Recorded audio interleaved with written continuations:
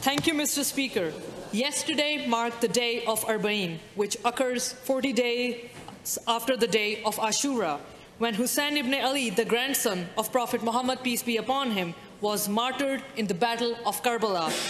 Hussein ibn Ali was a 7th century revolutionary leader who sacrificed his life for social justice. The day of Arbaeen is the day on which Hussein's family returned to the land of Karbala to properly bid farewell and grieve their loved ones. Today, 1400 years later, the day of Arbaeen is mourned by millions of people around the world. It is a day to pay tribute to the sacrifice of Hussein for social justice. Large marches are organized in cities across the world to symbolize the eternal nature of Hussein's revolution and to show they stand for social justice, honor, and peace. Yesterday, the March of Arbaeen was also hosted in Calgary by the Husseini Association of Calgary.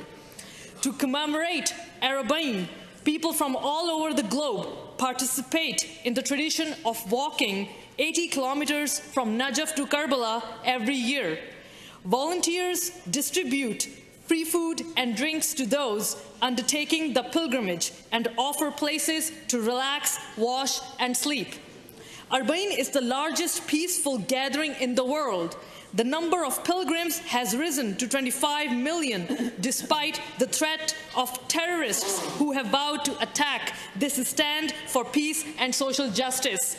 As the Minister for Culture and Tourism said yesterday, no one should have to worry about their safety when they worship.